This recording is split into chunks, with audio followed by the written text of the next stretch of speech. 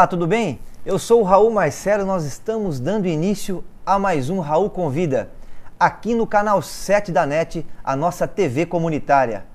Também ao vivo nas redes sociais, no YouTube e no Facebook. Se você quiser entrar em contato conosco para participar do programa, é pelo nosso zap, o 98812 9396.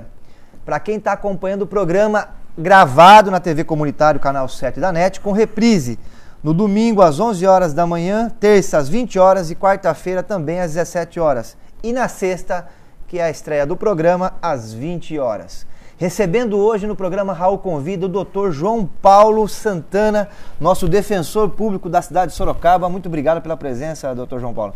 Eu que agradeço o convite aqui, é uma oportunidade muito importante para apresentar o trabalho da Defensoria Pública aqui no estado de São Paulo e também aqui na comarca de Sorocaba essa instituição nova que surgiu, nova na democracia brasileira, tão importante.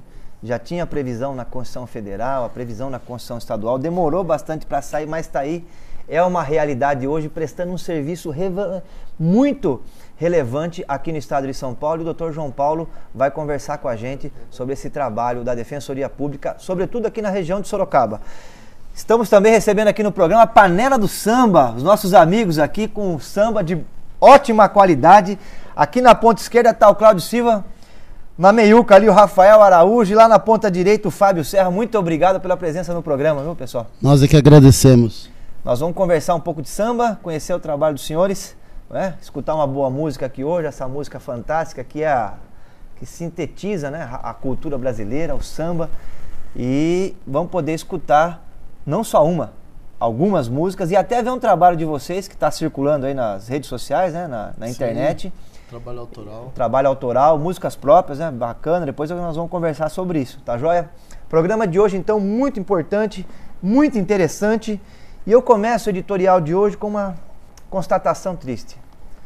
Né? Constatação triste: o jornal Valor Econômico da quarta-feira, 23 de maio, trouxe uma matéria que é para entristecer todos os brasileiros mais pobres perdem 5% da renda e desigualdade cresce.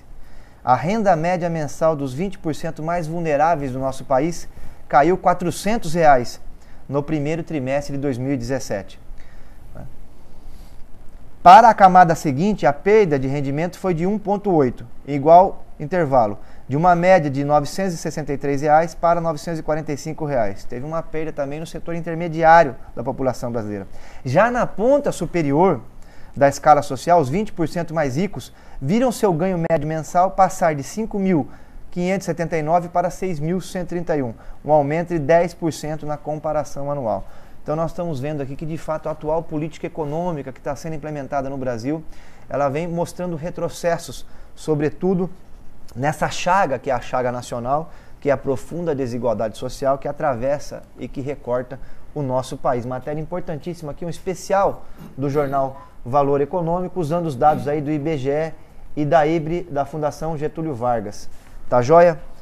Outra questão importante também no editorial de hoje, toda a cidade né, está aí preocupada faltando itens básicos nas redes de supermercados da cidade de Sorocaba. Os postos de gasolina vários já estão fechados, não tem combustível.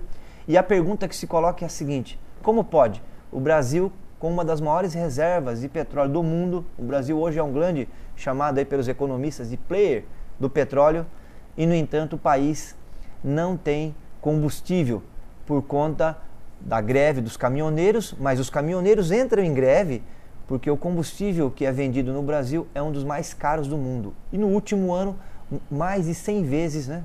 mais de 100 aumentos nós tivemos aí, tanto no óleo diesel e na gasolina. Vou pedir para a produção passar uma, um, um, vídeo com, é, feito pela Federação Única dos Petroleiros, uma entidade importante de trabalhadores que atuam dentro de uma das maiores petrolíferas do mundo, que é a Petrobras, responsável né, para cuidar das nossas reservas de petróleo. Solta o vídeo aí, produção. Por que o preço da gasolina é tão caro? Desde que o tucano Pedro Parente assumiu a estatal em 2016, a política tem sido a de agradar investidores internacionais e facilitar a venda de ativos. Com a mudança na política de preço de combustível, Parente também reduziu drasticamente a carga do refino no país, processando somente 70% da sua capacidade. A Petrobras continua produzindo muito petróleo, mas ao invés de refinar o produto aqui mesmo no país, optou por exportar o petróleo cru, para depois importar esse mesmo petróleo, agora refinado, a custo bem mais alto. No governo de Michel Temer, as importações tiveram um aumento espantoso. Nos dez primeiros meses de 2017, a importação de gasolina alcançou 1 bilhão e meio de dólares, com um crescimento de 93% se comparado ao ano de 2016. A gasolina e o diesel já correspondem a 20% de todos os produtos americanos vendidos ao Brasil em 2017. A estratégia de parente fez com que a Petrobras perdesse espaço no mercado doméstico de combustíveis para suas concorrentes internacionais. Assim, o consumidor paga mais caro pelo combustível, a alta na importação prejudica a balança comercial e reduz as operações das refinarias, colocando em risco milhares de empregos.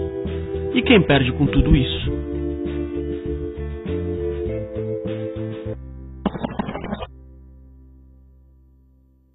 Está sendo implementada na Petrobras, que é uma política antinacional. Os engenheiros da Petrobras apelidaram essa política de American First, ou seja, os Estados Unidos da América primeiro, porque o único beneficiado da, da atual política da Petrobras são as petrolíferas norte-americanas. Explico, explico.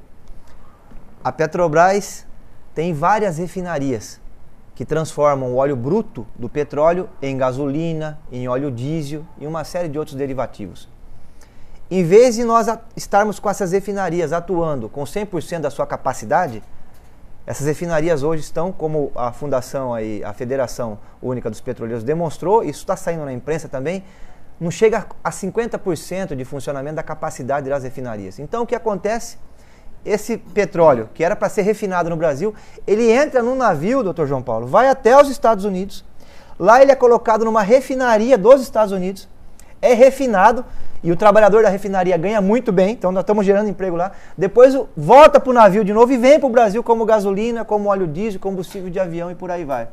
Então quem está se beneficiando com isso? As importadoras de combustível.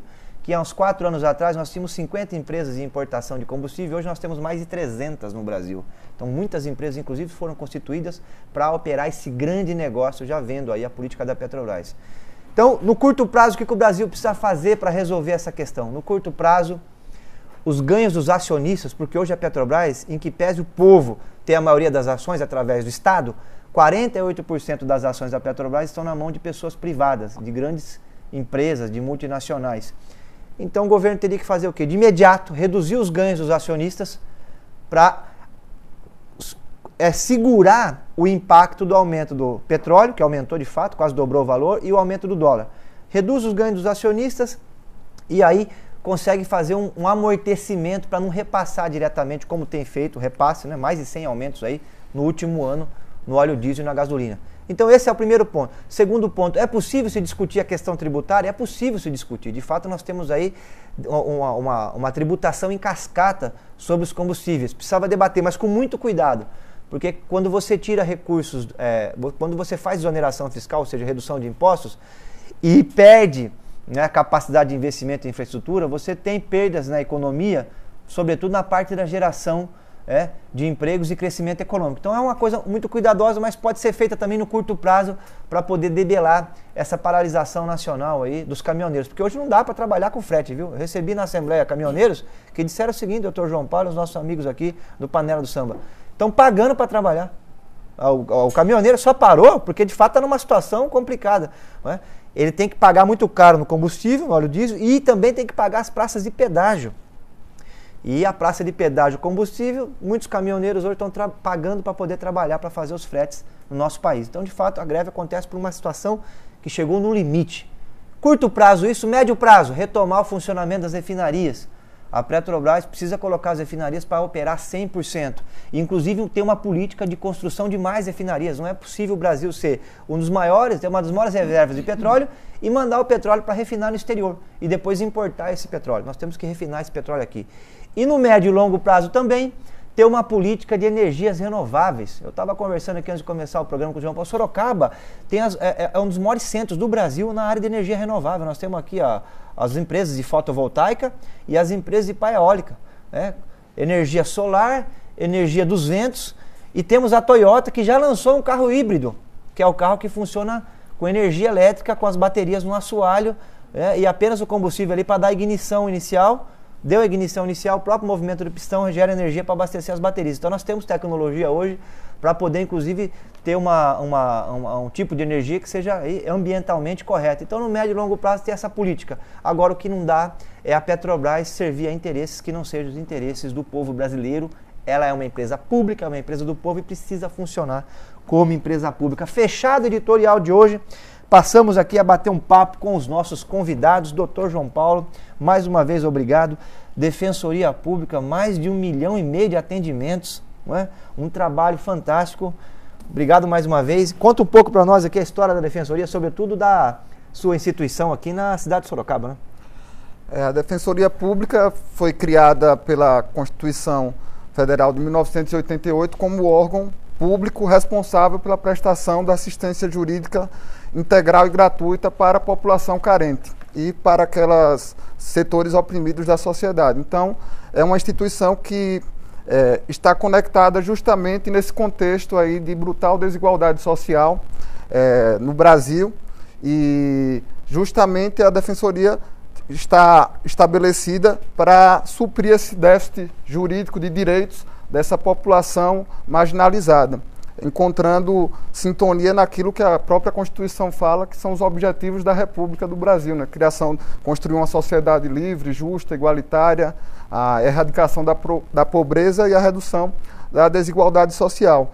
Então, a Defensoria Pública é, se insere nesse contexto de tutela de direitos dessa população carente e mais sofrida aqui no estado de São Paulo e no Brasil afora. Uh, no estado de São Paulo, a Defensoria Pública, com atraso de 18 anos, foi criada somente em 2006 e de lá para cá eh, houve a criação de alguns cargos. Hoje somos cerca de 700 defensores em todo o estado de São Paulo, que é um número bem aquém da necessidade, já que no sistema de justiça eh, há cerca de 3 mil magistrados, cerca de 2 mil membros do Ministério Público, dos promotores, e somente 700 defensores. Então ainda há um déficit muito grande na quantidade de defensores públicos, por isso que nossa atuação ainda não é plena e ampla e abrange só algumas comarcas aqui no estado de São Paulo. E cerca de 40, são 43 comarcas abrangidas, é, alcançadas pela Defensoria, sendo que existem mais de 300. Então, ainda tem muito o que crescer e ampliar a Defensoria Pública no estado de São Paulo. E a gente que passa ali, né? Aqui em Sorocaba funciona no antigo prédio da Urbis, né? É um Isso. prédio da, da, empresa de transporte público da cidade. É, e a gente passa segunda-feira de manhã ou terça-feira e tá lá o povo, né? As pessoas de pé descalços ali na fila, bem cedinho, para conseguir acesso à justiça gratuita. Isso é uma coisa sensacional e eu queria aqui fazer uma menção que muita pouca gente sabe, né, doutor João Paulo? O trabalho do deputado Renato Simões, né, foi um deputado que trabalhou na Assembleia e conseguiu, depois de alguns anos de obstrução, eu era na época vereador e fazia o curso de Direito, e participei do movimento para que a gente pudesse instituir a defensoria, porque o governo tinha muita resistência, né? porque o governo ficava com aquele argumento, ah, vai custar muito, é mais um custo para o estado de São Paulo, nós temos o convênio com a OAB, a OAB já faz esse serviço, então o Estado de São Paulo demorou 18 anos por, por conta dessa resistência do Poder Executivo, né, dos governadores que passaram à frente do Estado, em instituir essa, é, é, essa importante instituição aqui no Estado. E o deputado Renato Simões abriu uma, um processo na Assembleia de obstrução completa. E não votava mais nada. A Assembleia ficou meses sem conseguir votar nada. E aí a, só foi liberada a votação depois de um acordo para aprovação e a regulamentação da Constituição Estadual. Então faço aqui essa referência porque é importante que as pessoas conheçam a história, né? É, e a luta que foi para instituir a Defensoria Pública no Estado de São Paulo. Né? É, a Defensoria Pública é muito grata porque foi um movimento muito rico de mobilização, principalmente dos movimentos sociais, de diversos setores é. da sociedade. Então foi um processo mesmo de baixo e que criou uma instituição que hoje podemos falar que é democrática. Temos diversos processos democráticos internos de é, participação popular, como ouvidoria, de controle da sociedade na instituição, justamente para criar, é, fugir daquela visão de que o sistema de justiça é hermético, fechado e realmente em sintonia com o Estado Democrático de Direito, instituições abertas, transparentes e que estejam ligados aos anseios populares. E, aliás, depois nós vamos conversar sobre isso. Na defensoria tem até conferência, né? O povo pode participar, dar o seu pitaco, dar a sua opinião sobre as áreas de atuação da defensoria pública. É, vamos continuar, vamos entrar nesse tema depois aqui. E nós estamos recebendo também, pessoal, um grupo aqui de samba diferente, né? Porque é um o Panela do Samba, ele é um grupo de samba, mas nas apresentações o público pode interagir, né? Conta um pouco pra gente como é que funciona esse projeto, né? a história desse projeto e como é que é isso. Então é uma, uma forma democrática de ver o samba. É... A verdade é que o Panela do Samba ele surgiu com essa ideologia de, de integração, principalmente dos sambistas, dos compositores, para a gente poder enaltecer é, os compositores que muitas vezes não tem espaço, né, para apresentar suas obras. Então a gente começamos assim, 2009, né, Rafael? Rafael, Rafael é dos primórdios. É, nossa. Então e aí a gente começamos em 2009, tanto que ano que vem serão 10 anos. 10 anos de 10 anos de atividade. É... E onde são as apresentações? É, conta, é, tem um lugar, um então, local fixo? Hoje, a partir de agora, é, nós fizemos uma, uma parceria com o 2.8, né? É, o 2.8 Teatro Bar, onde nós vamos fazer uma apresentação mensal, a última quinta-feira de cada mês. Então, ali, é, naquele espaço, é, nós vamos ter a oportunidade de voltar a ter aquela ideia de de quem é compositor poder cantar os seus sambas, de levar sua letra, levar sua poesia. Então, ali nós vamos ter essa condição, por exemplo, quem for já pode ir com essa conotação de, de um evento de samba cultural. Não é comercial. Isso é uma reunião de sambistas ali. Uma reunião de sambistas. Um pagode. Isso, é o popular pagode que o pessoal carioca fala muito no pagode. Aqui em São Paulo a gente tem um, um certo receio porque existe uma, uma certa diferença de linguagem. Sim. Né? A linguagem do pagode é uma, a linguagem do samba é outra. O sambista ele tem um caráter até comportamental, né?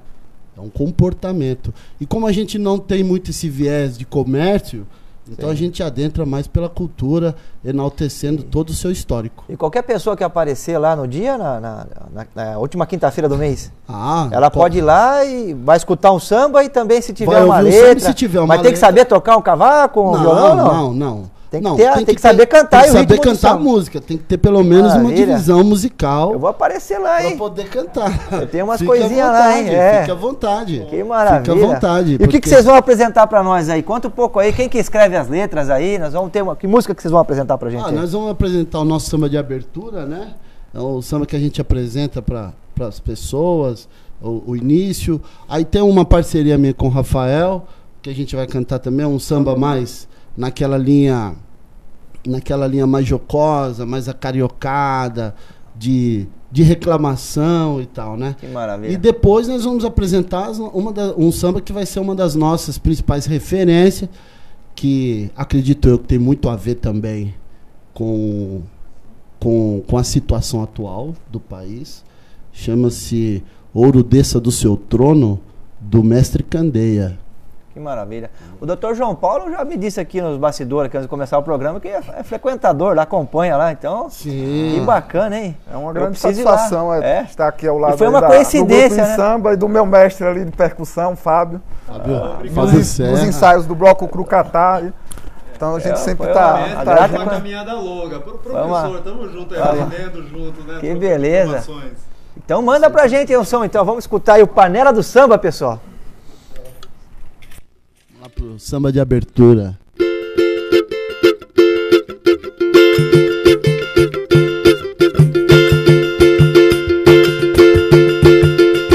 Quando a tampa se abrir, o povo já pode cantar. Melodia ecoou, panela do samba já vai começar se abrir, quando a campa se abrir, o povo já pode cantar. É, melodia ecoou, panela do samba já vai começar. Tem magia no lugar.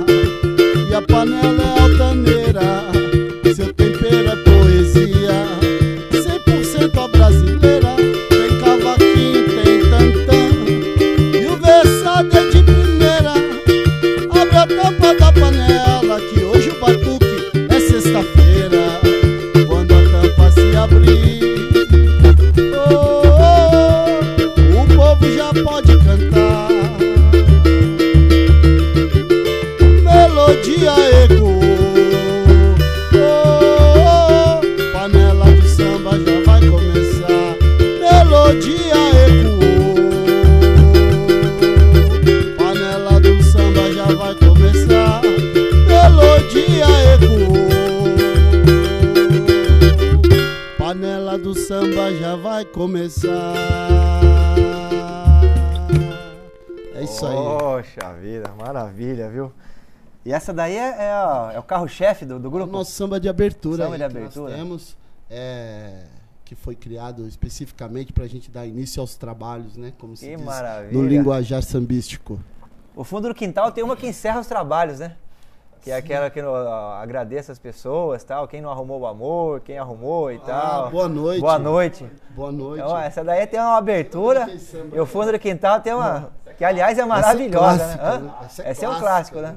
E é bacana, né? Porque é um encerramento bonito, né? Ele fala quem já arrumou a namorada, É, quem o já arrumou o amor, quem não quintal- arrumou, quem veio só sambar também, tá bom? Não tem problema. Boa noite. Hã? É bem isso. É legal demais, né? Tem para todo mundo, para Tem pra todos todo os mundo. gostos, né? Tá joia. Pessoal, panela do samba e o telefone para contato para a produção soltar aí, porque O telefone para trabalho, contato é 015, né? 15 o prefixo, é 996 42 7838. maravilha.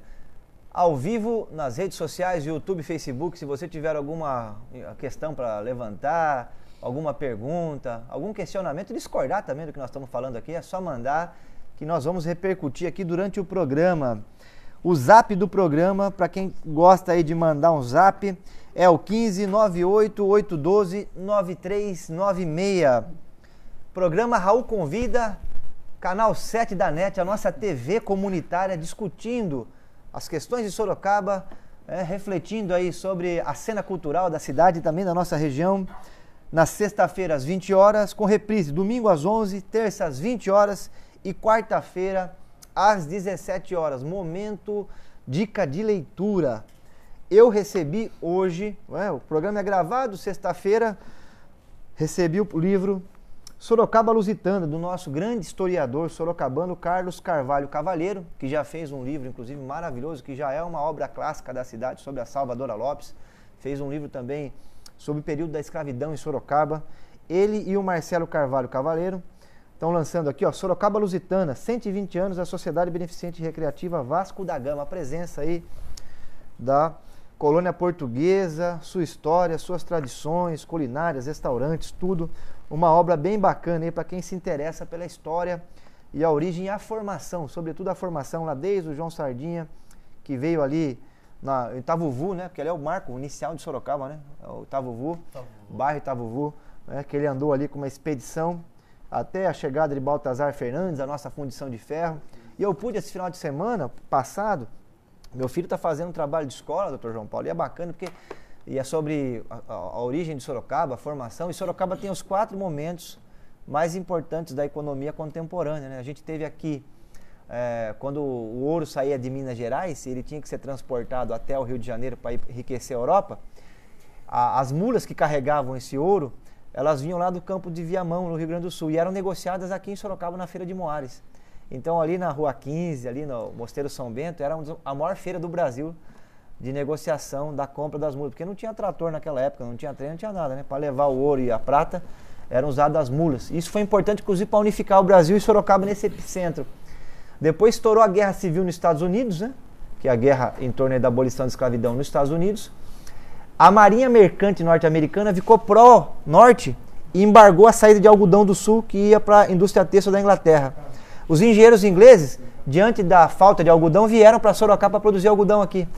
E aí surgiu a nossa indústria têxtil, veio o Matheus Mailaschi, nós fizemos a nossa estrada de ferro sorocabana e tá lá hoje tem um chalé francês, tem o tem a, a estátua né, do Mateus Mailaschi. E é interessante. Então você vai no Eu levei meu filho ao Mosteiro São Bento, ao início da cidade, né, da parte, a parte econômica. Aí você desce mais um pouquinho ali, que está abandonado, viu pessoal? Nossa estrada de ferro Sorocabana está abandonada, mas você desce ali, tem lá o Matheus Mailaschi, o a entroncamento da Sorocabana. Aí você anda mais um pouquinho, tem ali o que ficou, né, que é hoje é o extra, né, o, a, o que ficou das obras, né, das, grandes indústrias têxteis nossas. Mas você estica mais um pouquinho, está lá o Parque Tecnológico a Toyota, que é esse último momento da cidade, que é o momento aí das montadoras, né, que chegaram para Sorocaba. Então, é, é, é, a gente tem uma riqueza histórica muito bonita, mas infelizmente o Mosteiro São Bento está no processo de restauro. Inclusive eu estou questionando essa semana, porque está parado o restauro. Então você vai lá para fazer uma visitação, não pode entrar. E está lá. E a estação ferroviária da Sorocaba, de Sorocaba, eu viajei com meu pai de trem, visitar minha avó, né, que é lá da região de Ourinhos, o sítio dela, a gente ia viajar de trem nos anos 80. Hoje não dá mais, não tem mais viagem, está tudo abandonado lá, é uma tragédia.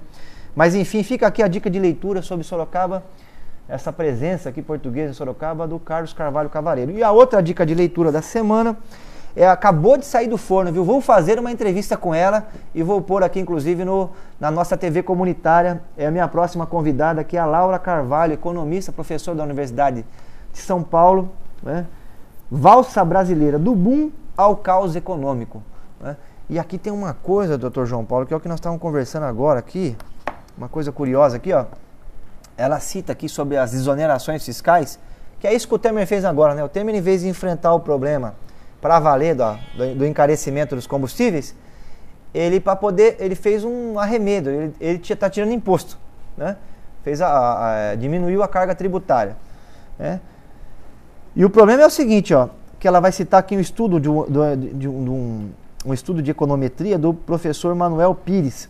E ele, nesse estudo ele descobriu o seguinte: que quando você reduz o tributo, o imposto, o ganho para a economia do país é de 0,28. Agora, quando você pega esse mesmo imposto e faz uma obra de infraestrutura, constrói uma escola, constrói um viaduto, uma ponte, qualquer obra de infraestrutura, o ganho para a sociedade, para a economia é de 1,4.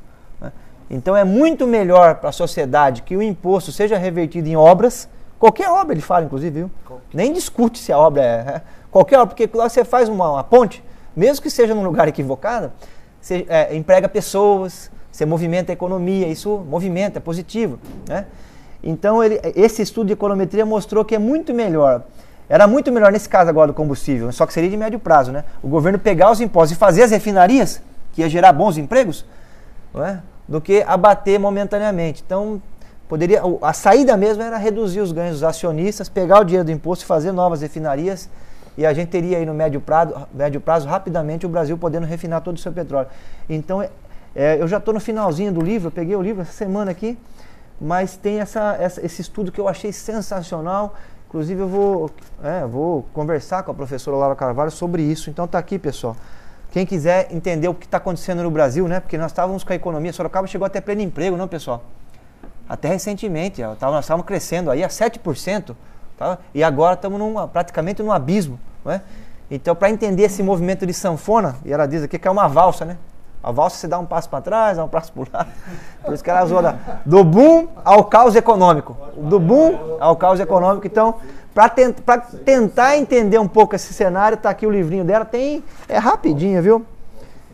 É, é, rapidinho, é 190 páginas, o livro pequeno, mas está aqui a dica de leitura da semana.